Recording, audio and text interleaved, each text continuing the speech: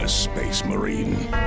For 200 years, I have battled the darkness that threatens to consume the Imperium of man. I've seen battle brothers die. Witnessed untold destruction. Our enemies will never give up. And neither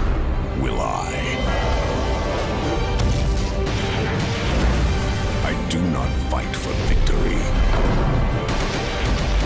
I fight for the survival of mankind. I am a space marine.